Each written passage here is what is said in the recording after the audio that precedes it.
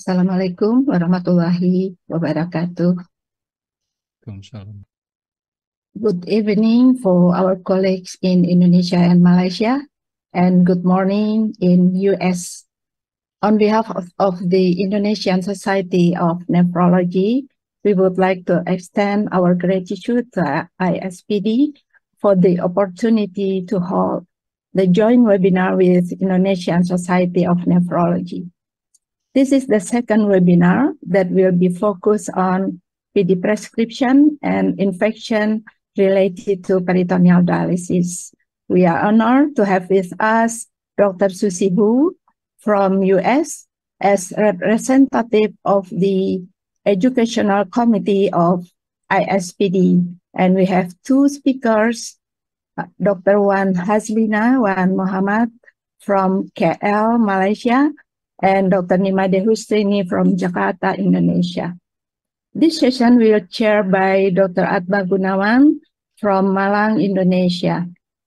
Before commencement, Dr. Susie Hu will address the opening speech as representative of ISPD. Dr. Susie, would you please? Yes, thank you so much for the introduction. Welcome everybody um, to this wonderful session on behalf of the ISPD, I'd like to thank the Indonesian Society of Nephrology for this collaborative effort to put out these um, informative webinar series. Um, it's a true pleasure to support this effort in expanding our knowledge of peritoneal dialysis. Um, as uh, mentioned, our first session was uh, last month in July, uh, where we discussed um, the reasons for why we would choose PD and also addressing uh, PD catheter issues.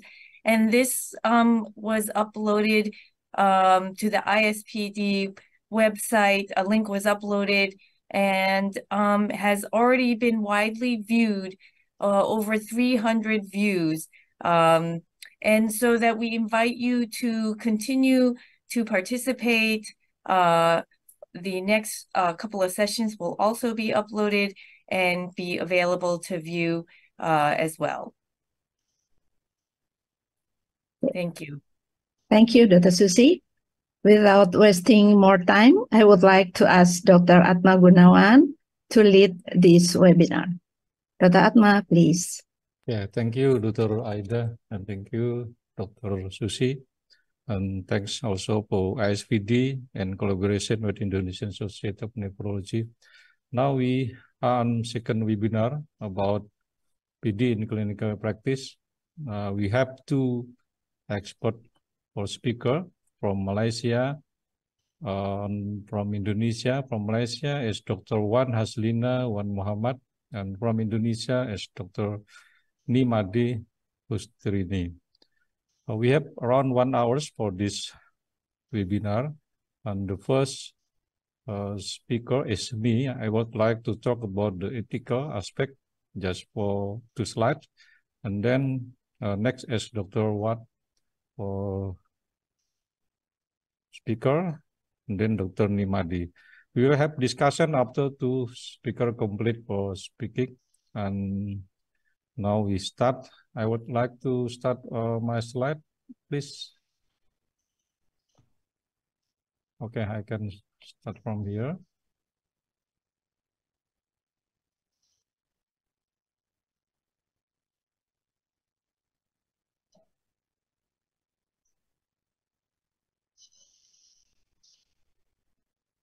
This one is ethical principle for health authority and dialysis care provider an individual with end-stage kidney disease should have access to the best available care in renal replacement therapy and supportive treatment. Health professional and policy markers should strive to reduce the cost of dialysis using simple, safe, and affordable modalities without compromising the quality of care provided to patients commercial competing interests on the part of policymakers and health service providers, including nephrologists, should be routinely disclosed to the public and patients. Where rationing of dialysis resources is necessary and unavoidable, access to dialysis should be equitable.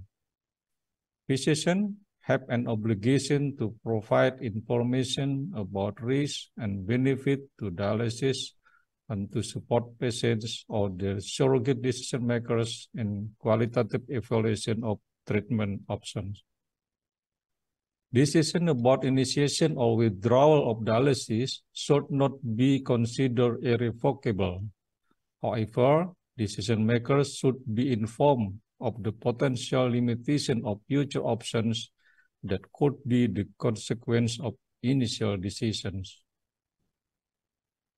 Policies and guidelines governing access to dialysis should strive to avoid futile treatment, promote equality of opportunity, maximize utility gains from the available resources, exclude criteria that are not morally justifiable with respect to allocation decisions such as race, sex, religion, or social status. Ensure transparency of policies and process. That's about ethical in uh, dialysis. And next speaker is Dr. Wan Haslina Wan Muhammad she would like to present about PD prescription and clinical uh, practice. Please, Dr. Wat. Uh, thank you, Dr. Atma, for the uh, introduction and uh, good. Assalamualaikum and good evening, everyone. And uh, with this, I would like to uh, take the opportunity to thank the organizer for inviting me to give uh, uh, the talk in this webinar. All right, so what can we go to the slides?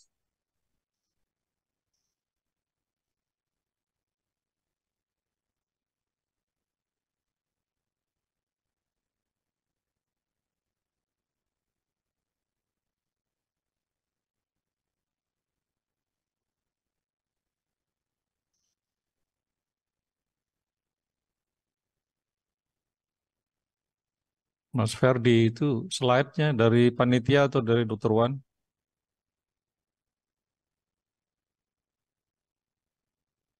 Dari Dokter Wan, Dokter. Uh, saya kena share lagi sekali ya. Okey, sekejap ya.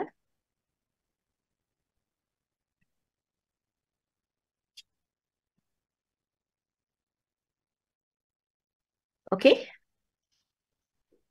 Yes. So is it viewed? Yes, right? Okay. So um, yeah, I'm going to talk about PD prescription in clinical practice. Uh, it's going to be very basic, um, but I would like to start with a case discussion. And I have to apologize because I have uh, difficulty to figure out how to do Slidos in uh, PowerPoint. So it's going to be manuals and the answer we will discuss at the end of my lecture. So I have two cases. So case number one is about a 30-year-old lady. She's a teacher. She was diagnosed to have end-stage secondary to lupus nephritis. And she crash landed to our hospital with um, uh, uremia, hyperkalemia, and the bicarb uh, acidotic HB of 8.9. I'm sorry.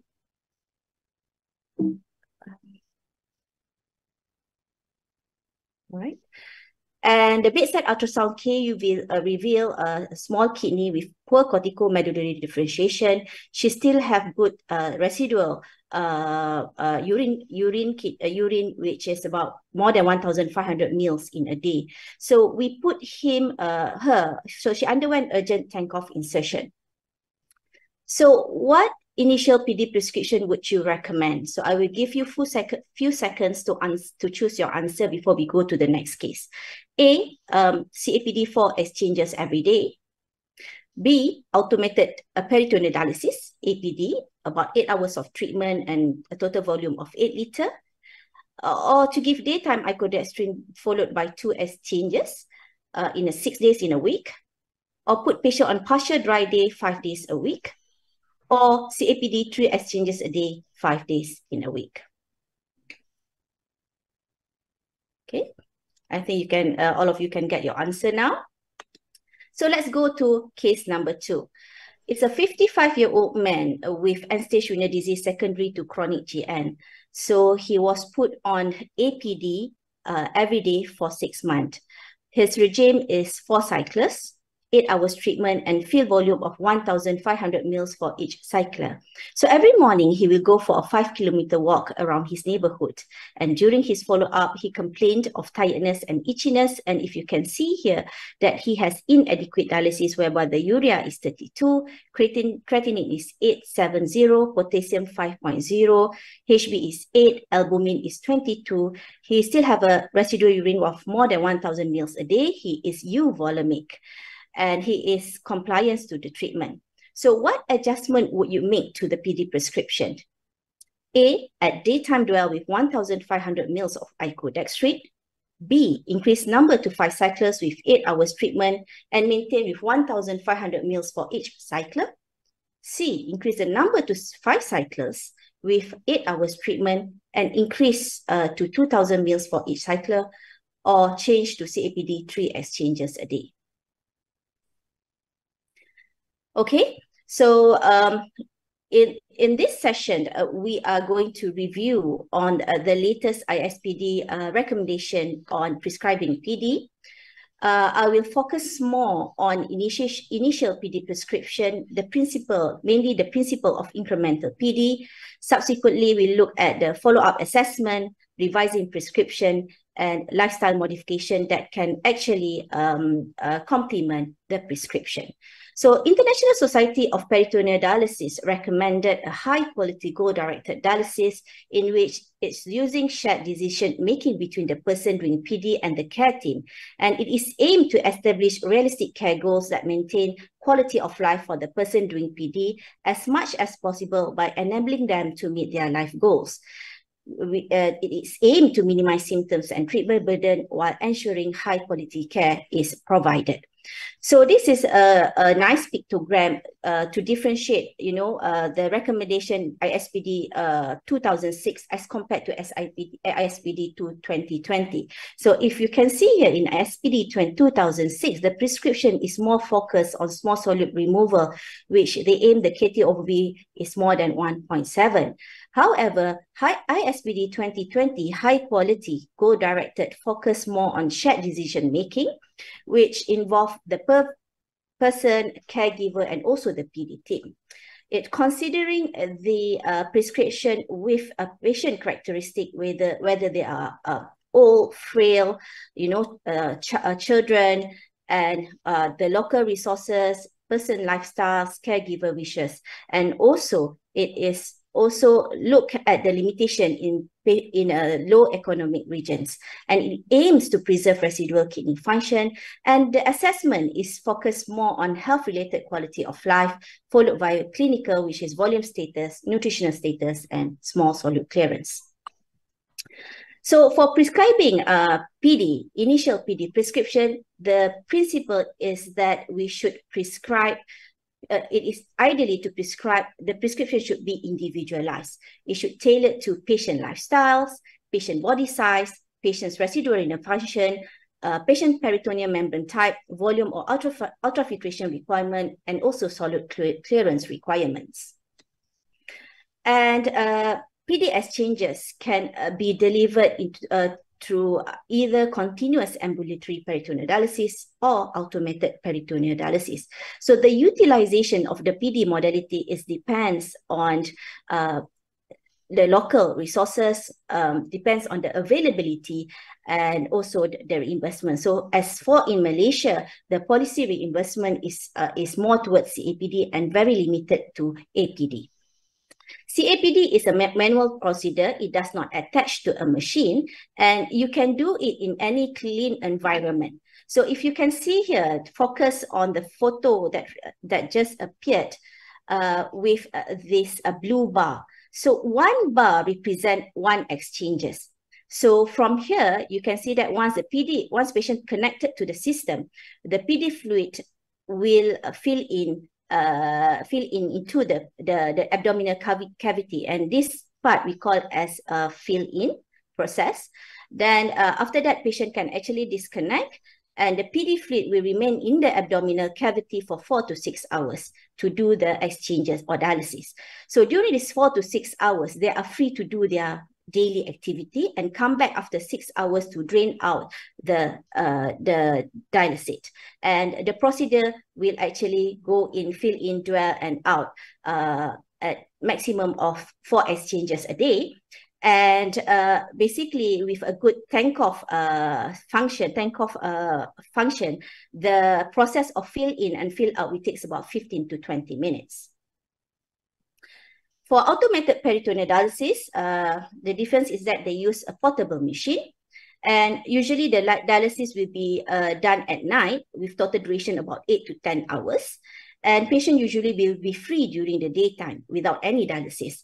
And uh, this is a concept for automated peritoneal dialysis. There's no dialysis during the daytime, so they can just do their own activities. And after they are settling with their uh, dinners or prayers, and before they go to sleep, they will actually do their exchanges. So in one pyramid in APD, we call it as a cycler. So we can set up through the machine um, on how long the duration the, and the total volume and it will and also the numbers of cycler in which will automatically appear uh, or set up through the machine. And a good thing about automated APD is that um, uh, in one of uh, the uh, Baxter actually produced a modem connected to modem whereby we can actually uh, where we where where there's a remote home monitoring. So what is remote patients uh, monitoring? So it is a technology for monitoring and managing patient care remotely with the ability to make changes to patient therapy. So for example, patient is doing dialysis at home. We as a healthcare provider will actually review or log into the system and we will review the dialysis uh, data of the patients. And if there's a pitfall or if there's changes that need, need to make uh, through the prescription, we can actually adjust it remotely uh, through the system without patient need to come to the hospital. So along with the PD modality, of course, we need a solutions to do uh, for the small solutes and also ultrafiltration removal. So uh, we have conventional PD solutions and also biocompatible PD solutions. So conventional PD solution utilize low molecular weight glucose as the only osmotic agent and are available in three different glucose concentrations. So in Malaysia, we use 1.5, 2.3 or 2.5 and 4.25%. So the higher the percentage, the higher the glucose concentration. So it is actually cheap and uh, mostly used worldwide. It is efficient, safe, and readily metabolized. However, it has high acidic pH, uh, and also lactate as a buffer and relatively high concentration of GDPs. It can impact peritoneal host defense and in long run, it can lead to peritoneal uh, fibrosis and later encapsulating peritoneal sclerosis. And uh, to reduce the non-pharmacological effect of the conventional PD solutions, biocompatible PD solutions were introduced. However, uh, it is more more costly as compared to conventional and not uh, um, not many of us have uh, the ability to use biocompatible PD. So the biocompatible PD which are available are icodextrin. Uh, we do have it in Malaysia. Low glucose degradation product which produced by FMC, which uh, which called as balance, amino acid Nutrineal, and also uh, normal pH of uh, solution uh, we call as Physioneal. And potential benefit of biocompatible PD solution had been reported as it reduced glucose exposure. There's a potential to improve membrane viability. It preserves ultrafiltration capacity. It delayed time to anuria. It also improved nutritional status and prolonged PD technique survivals. So once we already decide on the PD modality, of course, we need to decide on the number of exchanges and the volume that we need to give. So um, PD can be prescribed in a variety of ways, either to use standard peritoneal dialysis prescription or incremental PD prescription. So for CAPD, it is always have been four exchanges every day, four to six hours of dwell per exchange, and seven days a week. And for APD prescription, the full dose, the standard full dose in my setting in, in Malaysia is uh, delivered of uh, 10 liter with night dwell of 8 to 10 hours. uh, in seven days a week. However, in most high-income countries, it has been at least 8 liter delivered at night by cycler uh, over eight hours and at least one or two long dwell seven days a week. So in, you can see in the calendar, okay, the, the, the routine, you can see at the calendar is full, every day is full with peritoneal dialysis exchanges.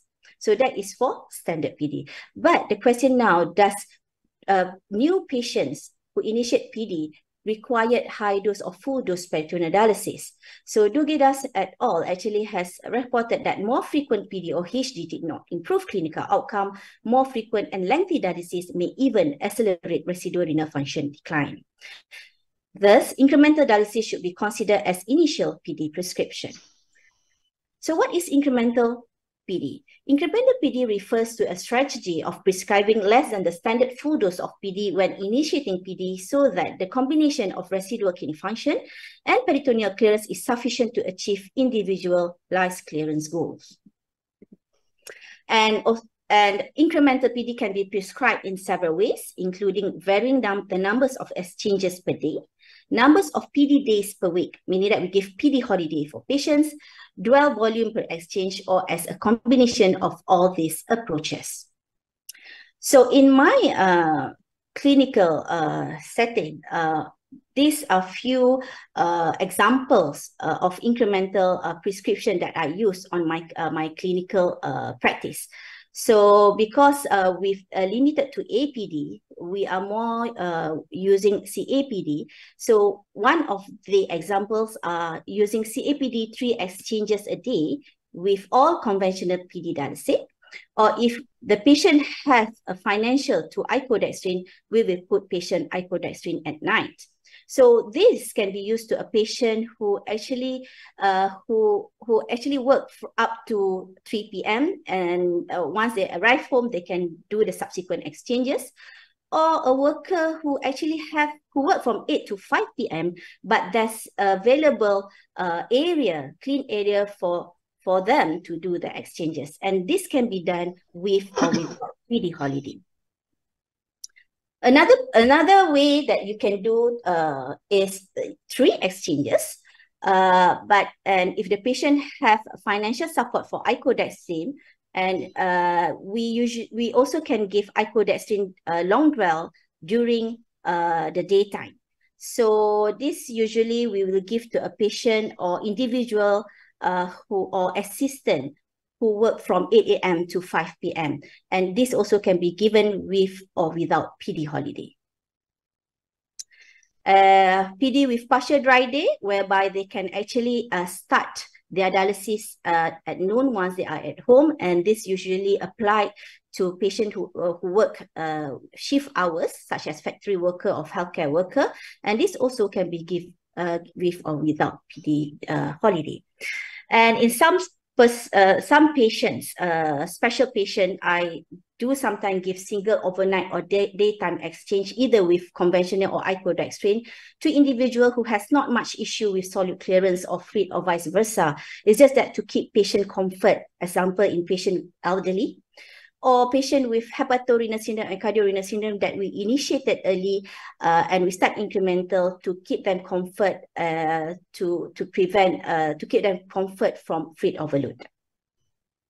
So for APD prescription incremental dialysis, it could vary based on the nights in a week, uh, based on the volume, and based on the hours of the treatment.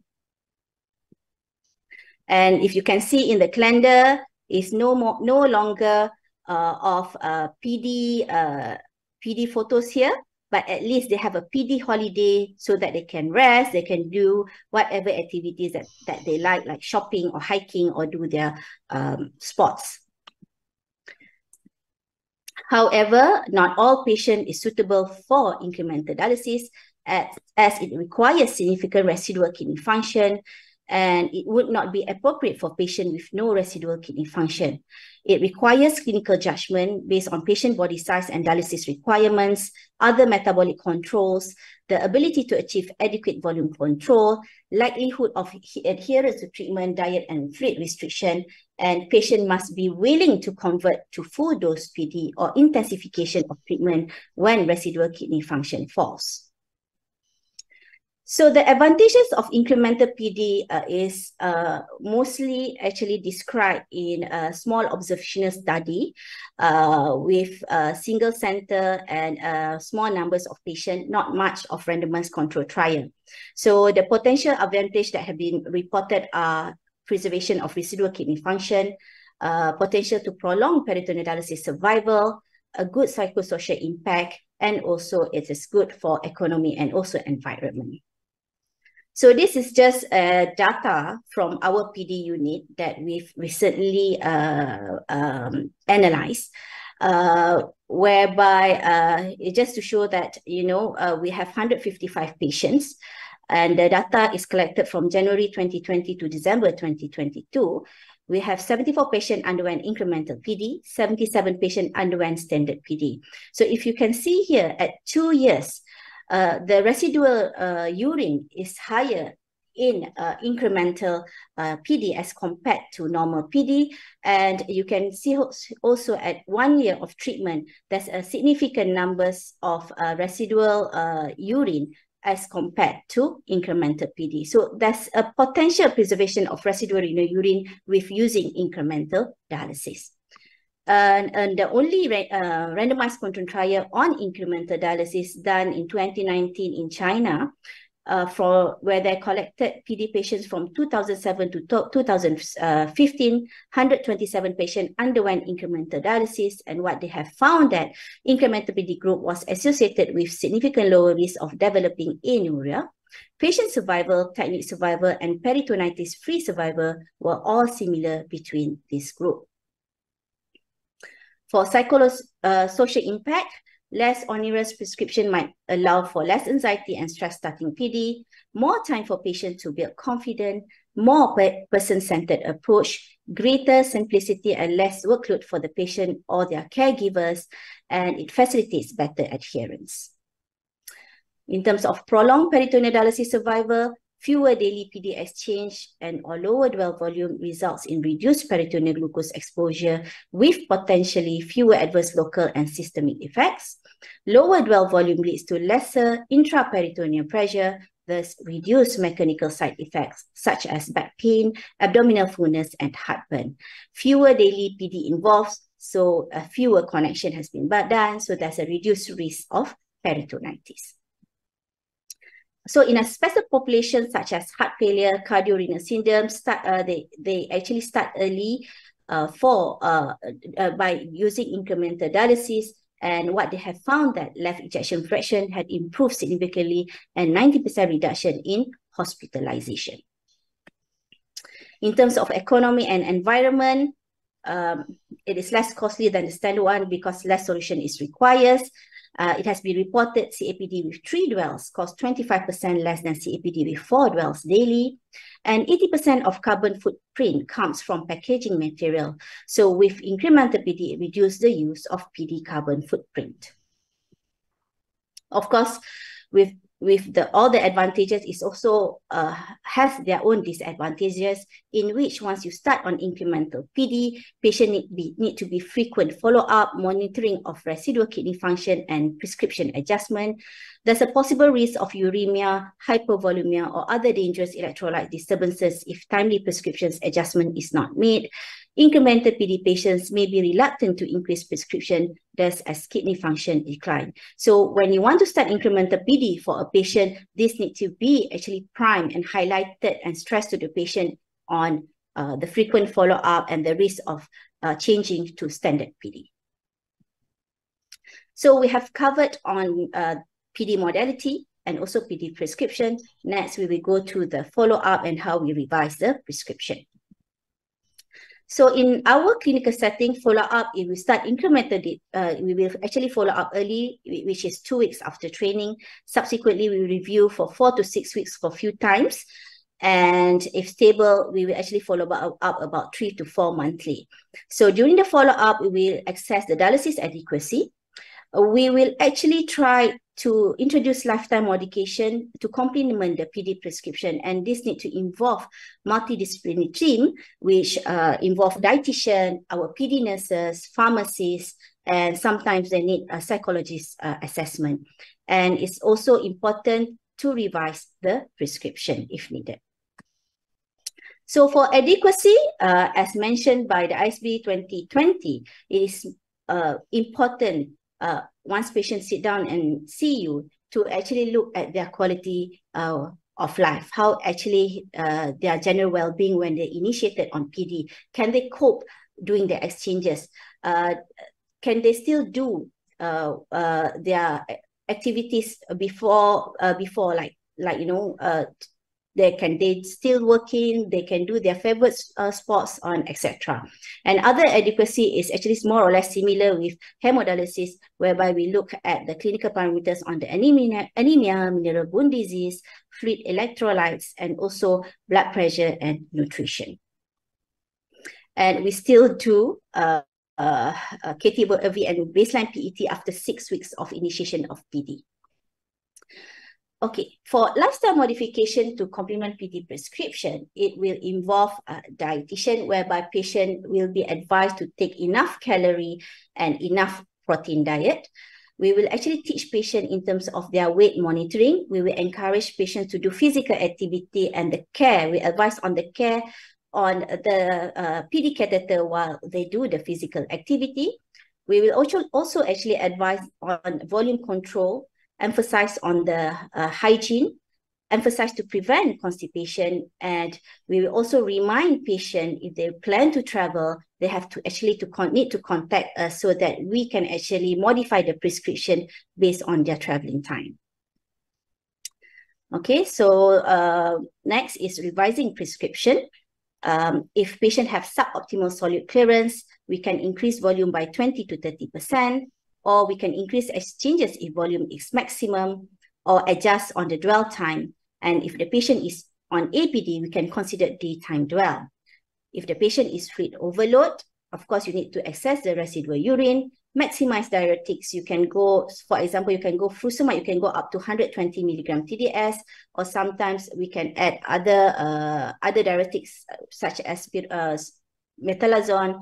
uh, advice on salt and water restriction, and I advise patients to take high protein diet, use icodextrin if it's, it's available. If not, if you have to use hypertonic solution to prevent fluid overload, by all means, please use it and also reduce dwell time. However, before you revising this prescription, you have to make sure patient is compliant to the treatment. Okay, let's go back to the case discussion earlier. So if you remember a teacher who actually crash land with uremia, so what is the initial PD prescription would you recommend? A, CAPD-4 exchanges daily. Um, uh, the reason B, I didn't put her on CAPD-4 exchanges daily because number one, she's still working. Number two is that she has still have a lot of residual urine. So I put her on incremental dialysis. So which incremental dialysis that I would like to choose? Either B, C, D, and E. Um, yep, for it, B is also suitable for her. However, uh, we have uh, issues in terms to get uh, automated peritoneal dialysis from Ministry of Education. And also, there's no financial issue for icodextrin for her. So after discussion, uh, she and uh, our team agreed to put her, her on CAPD, uh, three exchanges per day, five days in a week. And she's doing well until now. So uh, for the second case, a 55-year-old who is actually still active, who refused to put uh, to to have dialysis during the daytime, uh, what are the adjustment would you make to the PD prescription? So the main problem with this patient is inadequate dialysis. So uh, to to to increase the solute clearance, what we did is that we increased the number to five cycles with eight hours treatment, increase the volume to 2,000 mils for each cycle. So I think we have covered on the principle of a initial PD prescription and subsequent follow-up. And in summary, PD prescription is like an art. it, you need to craft it based on each individual characteristic to maintain their clinical well-being, quality of life, ability to meet life goals, and at the same time to minimize the treatment burden. And I would encourage all my friends in Indonesia and all in also in Malaysia to start to use utilize incremental dialysis in your uh, clinical practice for patients who still have good residual kidney function. And uh, and please uh, utilize lifestyle modification uh, as one of the important aspects to incorporate it, uh, to be incorporated during the uh, during the initial PD prescription. So before I end my lecture, I would like to invite all my friends in this webinar to join us on 14th MSNPD MSN PD Masterclass, which uh, the theme this year is about high skill, high growth in peritoneal dialysis, which will be at Sheraton Kuala Lumpur on 25th to 26th November 2023. So if you are interested, you can actually scan the QR code below the poster here and we will actually circulate time to time, time to time. Okay, with this, I end my presentation. Thank you, Dr. Wan. This nice presentation, very basic. Um, okay, I remind for participants who want to ask questions, please to write in the Queen's question and answer in the box. Okay, next presentation will be Dr. Ni Made Hustrini. She will talk about PD-related infection, prevention, and management. Please, Dr. Ni Made. Uh, thank you, Dr. Atma, for the kind introduction. Uh, and I would like also to express my gratitude to ISPD and also PERNEFRI for such a wonderful opportunity to present on this esteemed webinar. And now I will try to focus on the prevention strategies as well as management of PD-related infections. Um, ladies and gentlemen, PD-related infection continue to be a serious complications for PD patients. And as shown in this uh, figure, the, the, episode of Staph aureus infection is improving in one center in the US, whom practicing optimal continuous quality improvement program or CQI program. But in general, the risk of infection in PD is not falling. Uh, as in other parts of the world, infection also continues to be the second most common cause of death in PD. And peritonitis also continues to be the leading cause of technique failure and for years has been leading cause of hospitalization. Therefore, to improve outcomes in PD patient, attention must be focused on preventing peritonitis. PD-related infection can occur at any level or any segment of PD catheter, whether it is, it is an exit site infection or tunnel infection, or worse, it can hit as an peritonitis.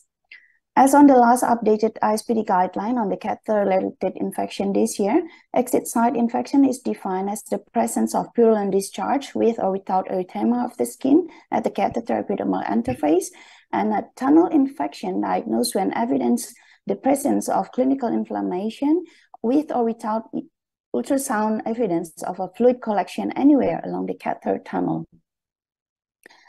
The diagnosis of exit site infection is mostly clinical and should be considered whenever uh, there is a change from the patient normal healthy exit site.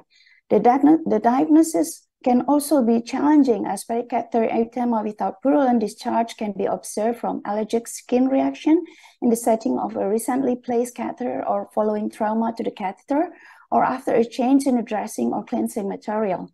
Sometimes erythema alone may be an indication of early infection, needing close monitoring for development of purulent discharge and need for antimicrobial treatment. A positive culture with a normal appearing exit site, for instance, without purulent discharge, is an indication for colonization rather than a true infection. And the cause of a catheter-related infection can be broadly divided according to the organisms to guide treatment. And the most commonly isolated organism reported for the exit site infection in the mupirocin and polysporin triple or MP3 RCT were diphtheroid for 20%, Staph aureus for 13%, and Pseudomonas for 13.6%, and fungus um, almost 10%. In an RCT comparing topical application of mupirocin versus gentamicin at the exit site, the most commonly reported organism in the mupirocin arm were Staph aureus and other gram-positive organism and Pseudomonas. There were fewer gram-positive and gram-negative exit site infection, but more yeast infection in the gentamicin group. And it is likely that epidemiology of organism will vary according to the region, prophylaxis approach, antibiotic usage, and so on.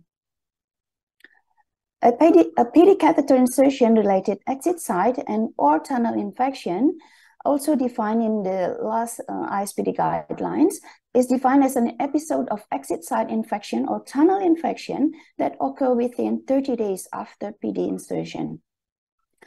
And prevention of catheter-related infection is, is based on uh, four recommendations on catheter placement.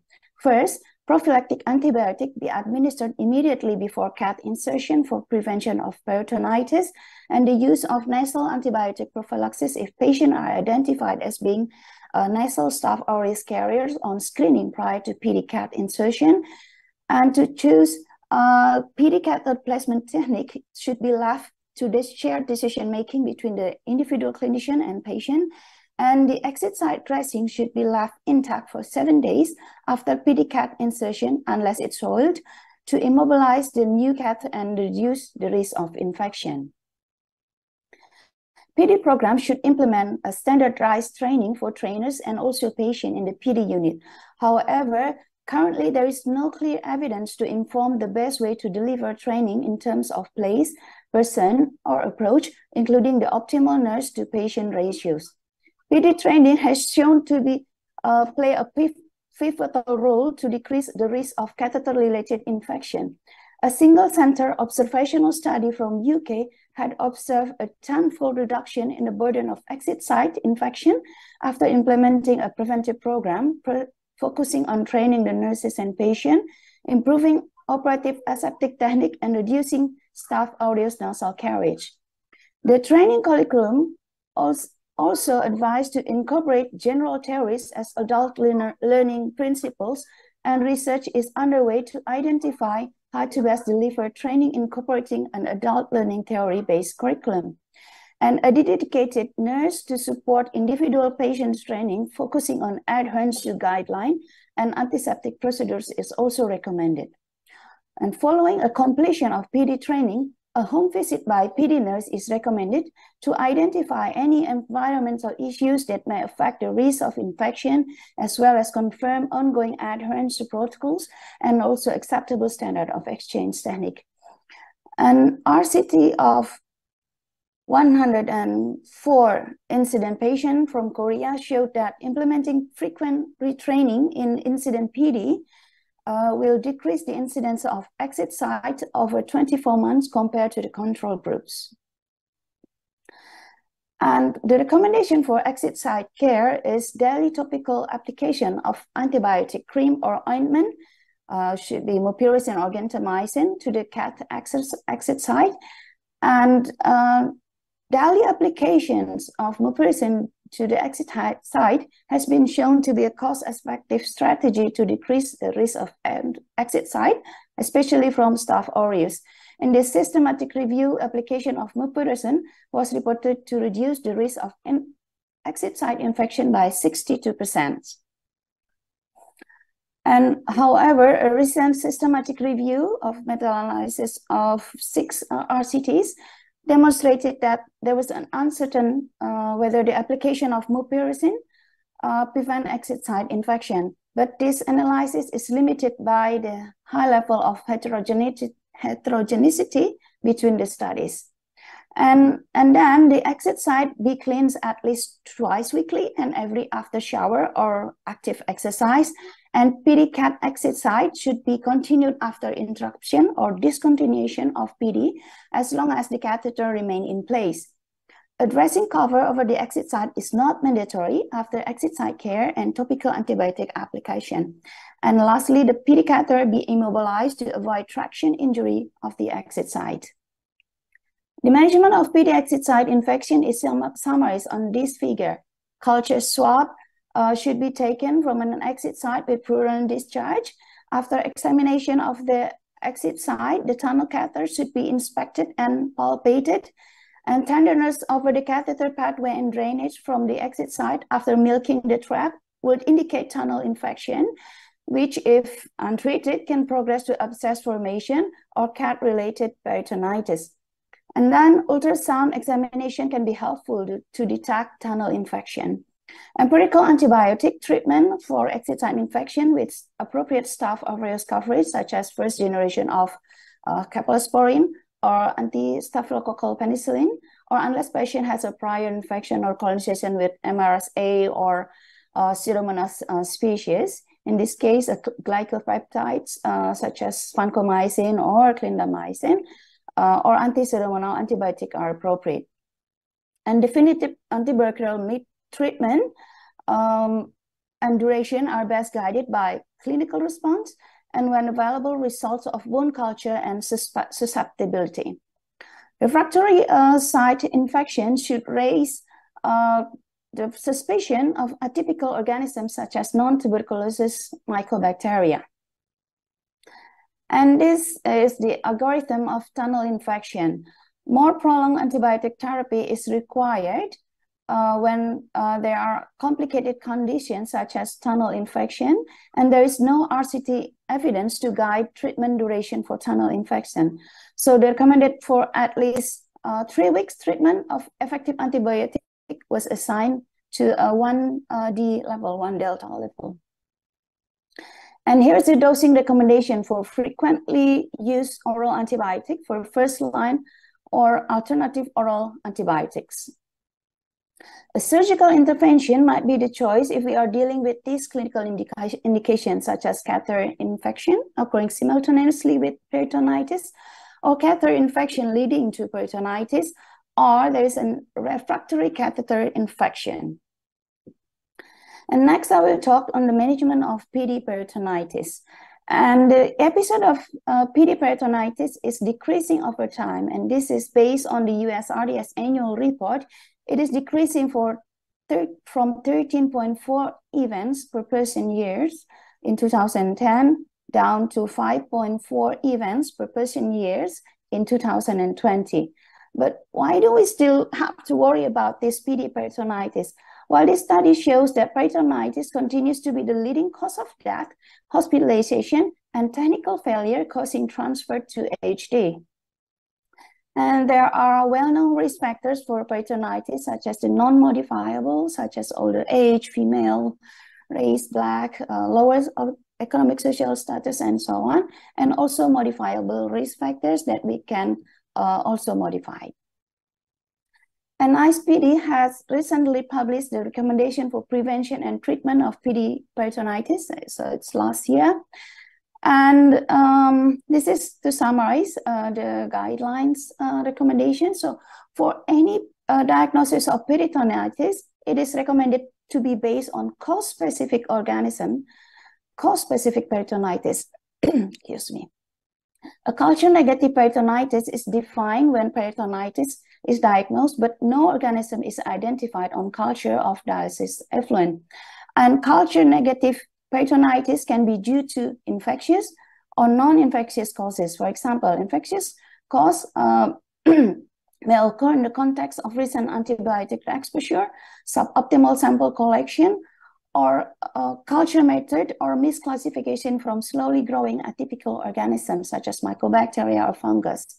And non-infectious causes may include eosinophilic or uh, chemical such as icodextrin, uh, but neutrophil predominance of the elevated white blood cell that might not be present. And catheter-related peritonitis can be diagnosed with a high degree of certainty when it occurs concomitantly with an exit site or a tunnel infection. And peritonitis from uh, enteric causes, uh, such as from strangulated bowel, ischemic colitis, appendicitis, can cause a diagnostic challenge. And identification of multiple organisms, particularly both gram-positive and negative, is only suggestive of enteric cause for peritonitis. Enteric, enteric peritonitis can present as culture negative if the process involves the peritoneal membrane through a contiguous um, infectious inflammatory reaction such as uh, pancreatitis. The ISPD guideline recommend that every program should monitor the incidence and outcome of peritonitis annually, with the overall peritonitis rate should no more than 0.4 episode per patient per year at risk, and the proportion of culture-negative peritonitis should be less than 15% of all episodes of uh, peritonitis. And these figures also summarize the standard recommendation for prevention of peritonitis, where systemic prophylactic antibiotic be administered immediately prior to catheter placement, any wet contamination to the PD system prior to colonoscopy, and invasive gynecological procedure.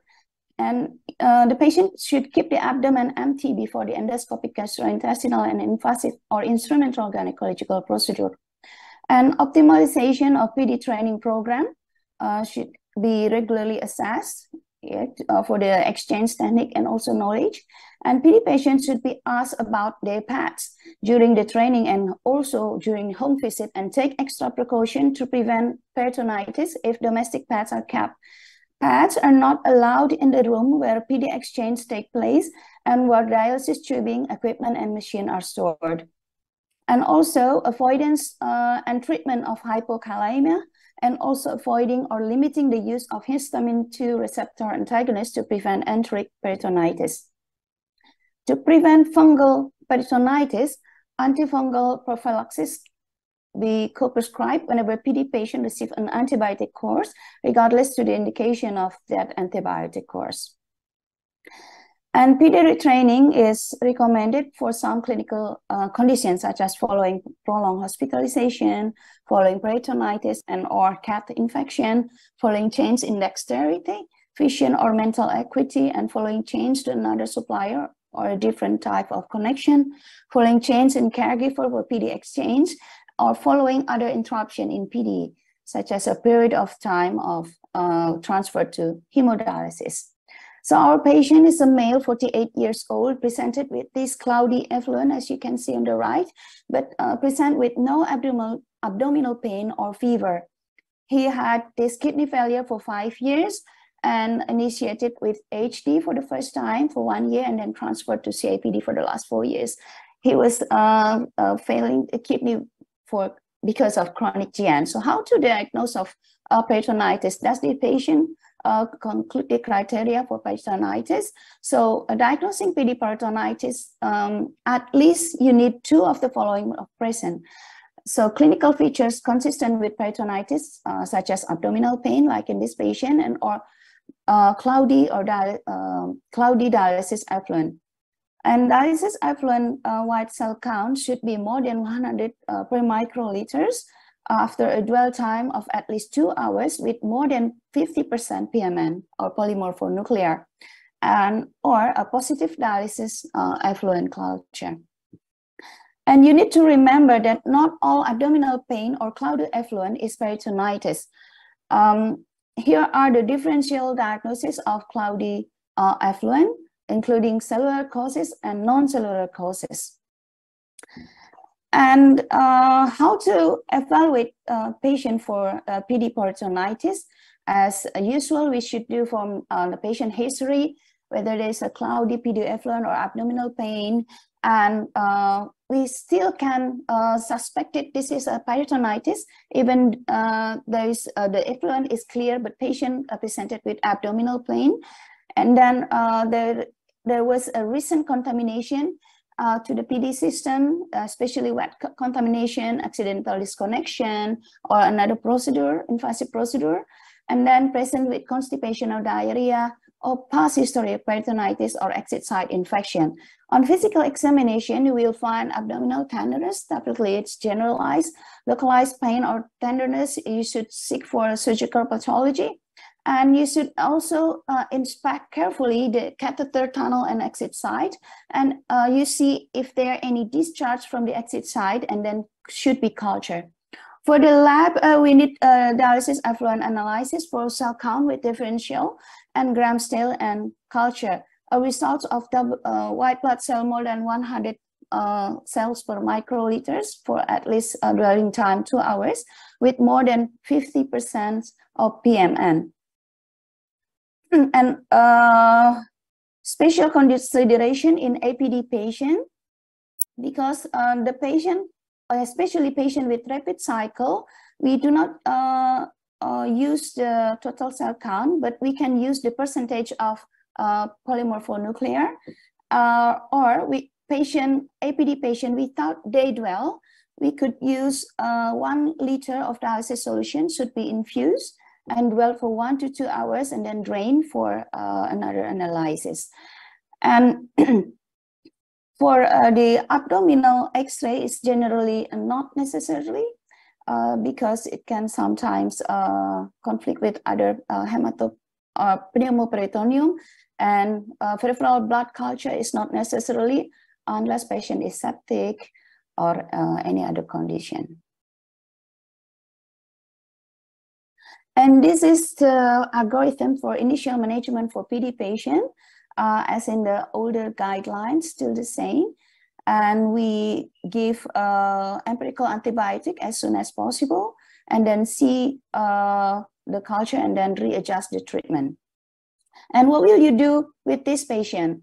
Well, PD patient presenting with cloudy effluent should be presumed to have peritonitis and treated as such until the diagnosis can be confirmed or excluded because PD effluent and then PD effluent be tested for cell count, differential, gram stain and culture when it, whenever peritonitis is uh, suspected. And don't wait too long to give antibiotic. This is a prospective study of 116 patients with 159 episodes of peritonitis in Australia.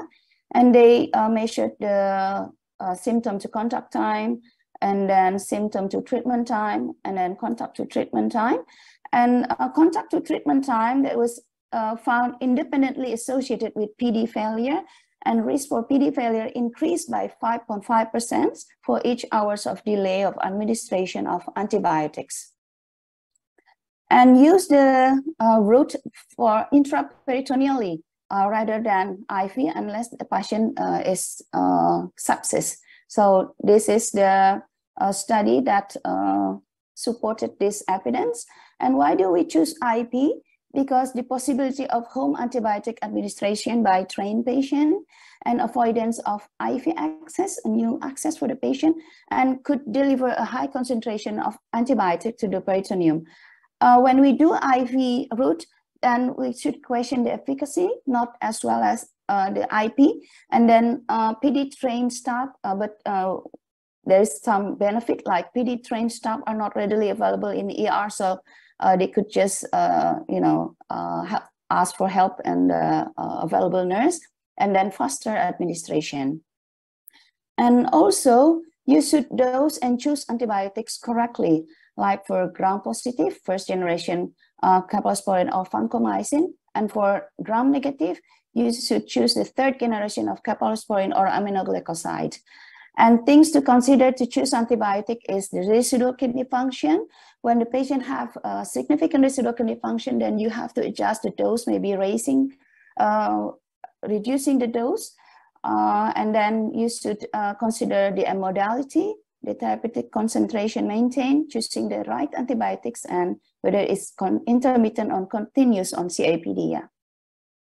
Uh, differing from CIPD and APD, in APD, uh, they have greater peritoneal antibiotic clearance that causing subtherapeutic antibiotic levels. So whether switching APD patient to CAPD to ensure adequate levels of antibiotic, it, this is still uh, uh, controversial. And if antibiotic needs to be given continuously, APD will need to be switched to CAPD. And also we could see some level of antibiotics when they're available uh, laboratory. And there are some management uh, also algorithm for staph aureus, uh, so cause-specific peritonitis stated in this guideline. So um, mostly it's uh, the same, but you should see the uh, course of antibiotics and also uh, for the uh, strep uh, aureus, uh, you should um, also train for 14 days. And this is for the gram-positive organism, uh, including coagulase negative staph on culture. And then for Enterococcus species, you should consider whether this is single or polymicrobial, and then adjust the antibiotics and treat for 21 days. And for non-fermenting or environmental gram-negative bacteria, uh, such as Pseudomonas, uh, you should give a longer antibiotic for uh, 21 days. And then for enteric gram-negative bacteria, also uh, we should uh, consider a, a, wider spectrum of antibiotic, including carbapenem. And for polymicrobial peritonitis uh, with multiple gram-negative or gram-positive, you can see the algorithm here. And also for fungal peritonitis, uh, the choice is to remove the PD catheter as soon as possible and give uh, antifungal uh, orally or IV. For culture negative, uh, you continue initial uh, therapy, but in day three, still negative, but uh, with clinical improvement, discontinue gentamicin and continue with capecitabine. But with no clinical improvement, then you need to have a special culture technique and then uh, adjust the treatment accordingly. And for the uh, relapsing, recurrent, and repeated peritonitis, uh, they recommend to uh, timely uh, removal of the PD cath and simultaneous PD cath removal and reinsertion be considered after the culture of PD effluent has become negative and the PD effluent white cell count is below 100 uh, cells per microliters in the absence of concomitant exit site or tunnel infection. And this is my last slide uh, for the summary. Infectious complication is still a major burden in managing PD patient. Infectious complication can occur in every catheter segment, and peritonitis is one of the most uh, common infectious complication.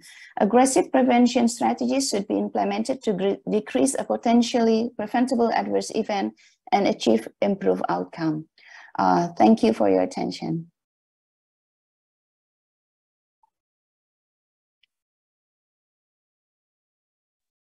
Thank you, Dr. Ni Made. Nice presentation, very, very complete and clear. Okay, we will have a discussion for around 20 minutes and now we have seven questions and okay, we'll for Dr. Wan, there is one question.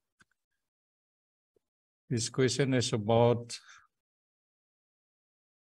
the time for start for PD. Is it first PD or maybe bit, still bitter for long time on HD, HD and then switch to PD. Please, Dr. Wan. Okay, thank you for the questions. So when is the right time to do CAPD? So basically, uh, um, based on this, there's no fix uh, numbers or on when or EGFR when to start CAPD. In fact, in IDEAL study, uh, randomized control trial looking at uh, lower EGFR, which is less than 7, or higher GFR, which is less than 12, there's no difference in terms of survival or mortality rate.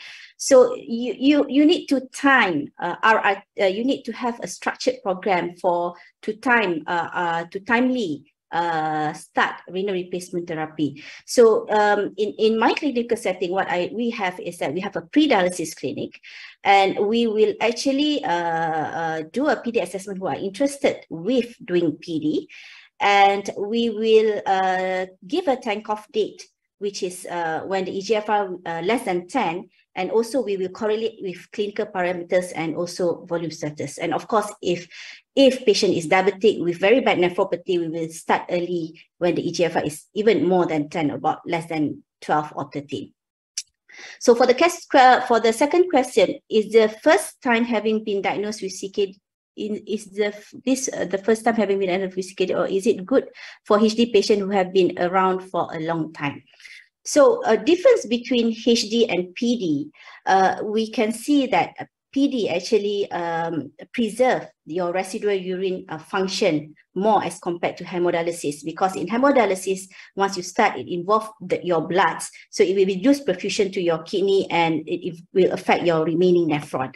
So it, it, it has been shown that in, in, in studies saying that, you know, the two years uh, uh, uh, remaining residual urine function do actually uh, have better survival as compared to uh, in PD as compared to HD. So of course, uh, C, CAPD is, is a better choice, okay, uh, being a pro PD. And uh, and we do also have patients who have a vascular access issue actually turn out to be uh, to be need to be on uh, CAPD. Uh, of course, their quality of life would be as good as if you start with CAPD, and the prescription will be high dose as compared to if you start with PD itself. And I hope I answered the questions. Second question, Dr. What? When prescribed incremental PD, when to examine PET test, and do we still reach KTOPRP 1.7 in incremental PD? Hmm. Well, um, when I prescribe incremental PD, we just do a baseline uh, Kt/V PET. Uh, after six weeks, uh, patient is stable, uh, initiating the, the, the, the regime with the regime. Uh, we don't really routinely do Kt/V PET test nowadays. It is basically based on uh, the physician orders as uh, we are moving away, as you know that, you know, we are not looking solely at the Kt/V itself. Uh, do we still aim Kt/V 1.7 in incremental PD? Um, based on the study, your Kt/V will be high if your residual urine is still available or a lot. So in incremental PD, I don't really aim Kt/V more than 1.7. I look at the general uh, well-being and correlate with the clinical parameters for the adequacy.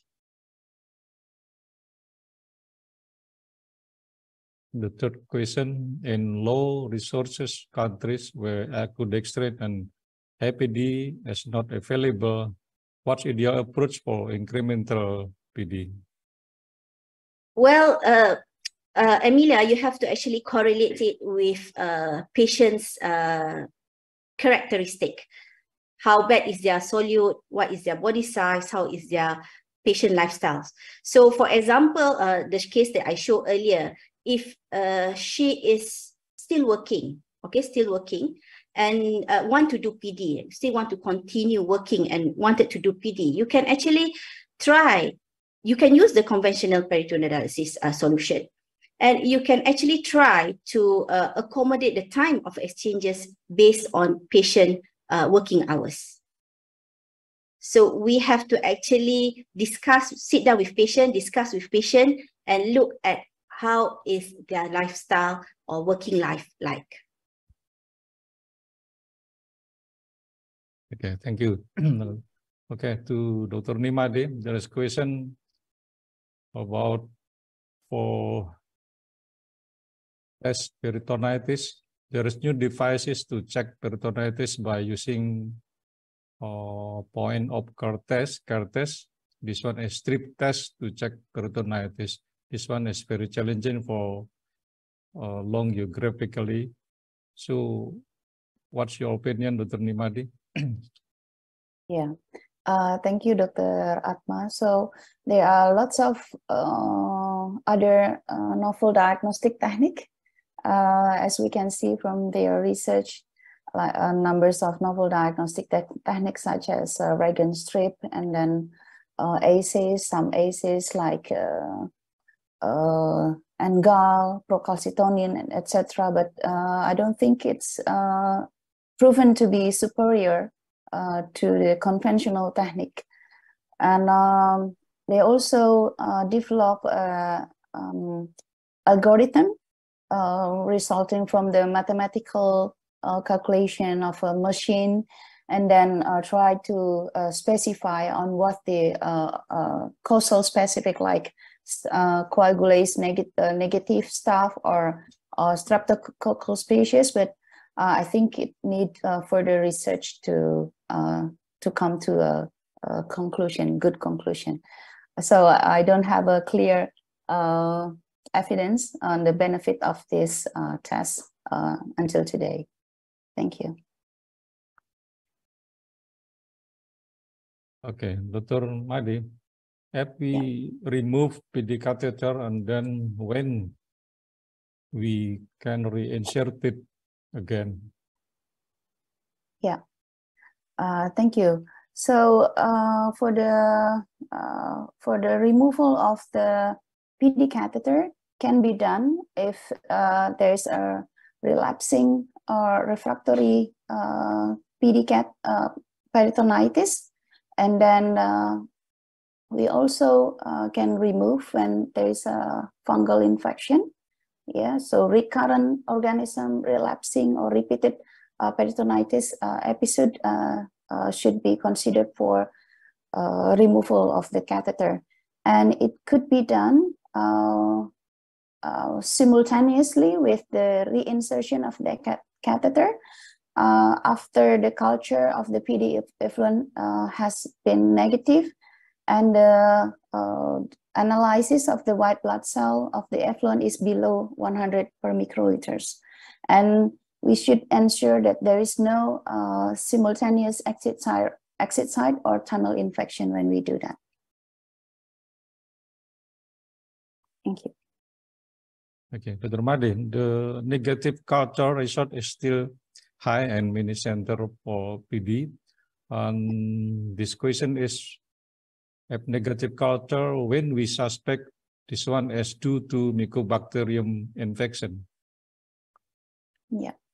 So uh, this is a good question, especially for us in uh, in uh, endemic uh, geographical for uh, TB. So when there is a refractory peritonitis, more than three uh, weeks of antibiotics, there is no clinical improvement, then we should suspect that there is other other specific atypical microorganism that is including uh, the mycobacterium.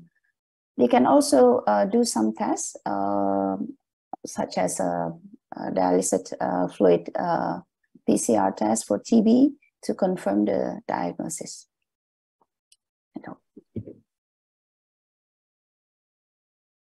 Okay, thank you. There is still some question uh, for Dr. Wan how many days for longest free PD day in incremental PD prescriptions? And should we leave some solution in the abdomen during free days? Mm, okay. For the question number one, how many days the longest free PD day in incremental PD prescription? Again, it depends on how much is the residual urine function that patient have, how is he uh, he or she clinically, whether she's easily fluid overload. And uh, number two is uh, how is he is he or she is hypercatabolic, meaning that high high solute. So the longest that I've actually I've uh, tried to on the initiation peritonitis, usually what I do is three three exchanges, uh, CAPD, with two days rest, two days of PD holiday. But I do have uh, patients who who just uh, requires three uh, days, I mean four PD holidays because they still have residual urine function, but the issue is because of uh, the solute clearance. For no day dwell, should we leave some solution in the abdomen? Again, it depends on patient. Some patient is not comfortable uh, to have empty uh, empty abdomen. So we will advise them to keep about 200 to 300 cc of uh, dialysate in the abdomen. This question is still related with uh, incremental PD. If mm -hmm. a patient from conventional PD want to switch to incremental PD, what should be conditions uh, required? Mm. Uh, conventional PD diubah menjadi okay change to incremental PD usually patients on conventional PD we don't really decrement to incremental PD unless patients started initial initial phase is uh, I mean in at early phase of uh, peritoneal dialysis about two to three months, whereby you know patient is already on on conventional PD, still have good residual urine output and residual urine. Uh, I mean the solute clearance is is not an issue. He's not fluid overload. Then yes, we do actually uh, change from a conventional PD to incremental PD. But this is just for patient who who actually at few months, one or two months with a good residual renal function uh, without solute clearance, then we actually decrement or to reduce it, reduce the exchanges to incremental PD prescription. But the one that's already one year or two year, usually we just continue with conventional PD prescription.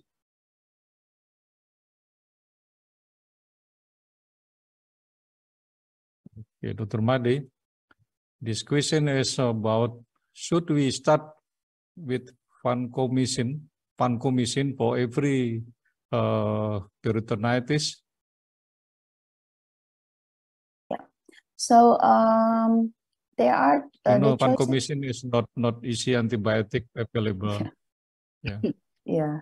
And also uh, more expensive. Yeah. So uh, the the cho the choice of antibiotic is uh, largely depend on the uh, the culture pattern uh, uh, to the sensitivity and also resistancy pattern of uh, the centers.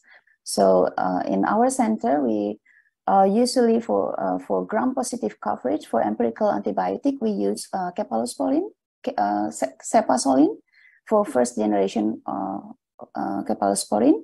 And for the gram-negative coverage, we use uh, uh, gentamicin. So that is enough for our centers and uh, showing a, a, good clinical outcome. But uh, when um, you uh, want to uh, choose for gram-positive coverage with vancomycin, it is, well, you can choose it as long as it's available. But um, in our center, we don't uh, jump to vancomycin for the first choice.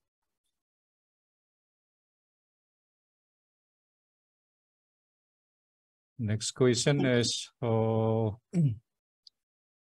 removal catheter. This one is asking why the reason to remove catheter immediately if peritonitis to, to fungal or mycobacterium the reason? Yeah, it's uh, because that uh, conventional, uh, because the first is the diagnosis of fungal uh, or mycobacterium peritonitis is not uh, easy.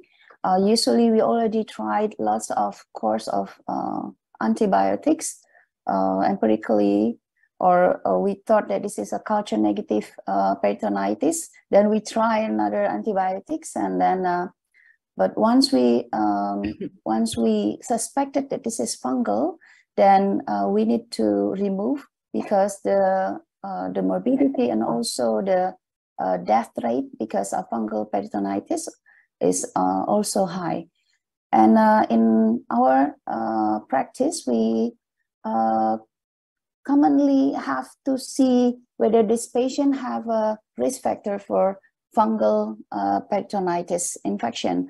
Uh, like uh, we can uh, inspect their uh, toes, their, their nails, two nails or the fingernails, for if there are any onychomycosis uh, that can be infected during the connection to the PD system.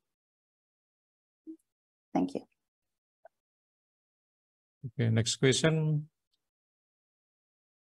in giving antibiotic for peritonitis, do we should keep antifungal for every treatment with antibiotic?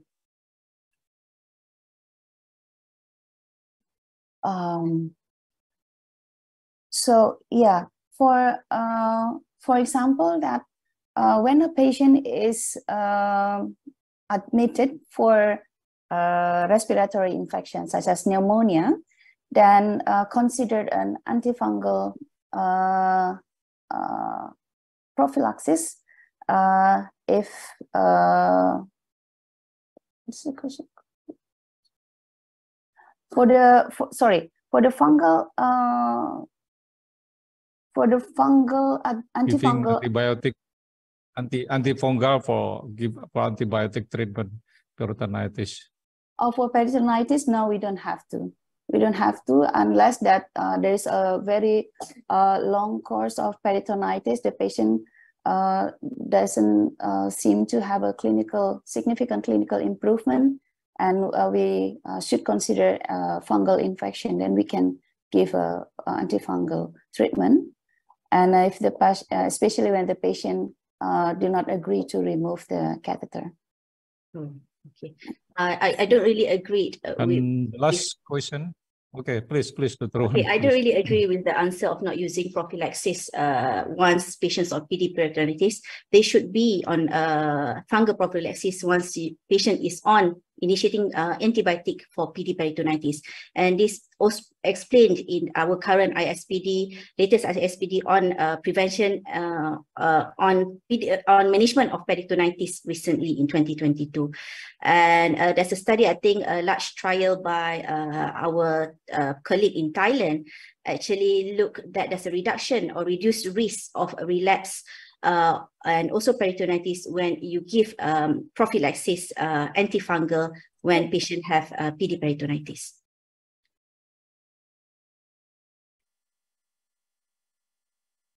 Okay, last questions for Dr. Wan. Usually, how long can incremental PD regime can last before switching to standard PD regime? Mm, again, it's also based on uh, individual uh, most of the study says, you know, some of the study says is about three or four years. Uh, so um, uh, I, I, I don't have the exact answer how how many years that actually they can remain uh, uh, to be on incremental dialysis.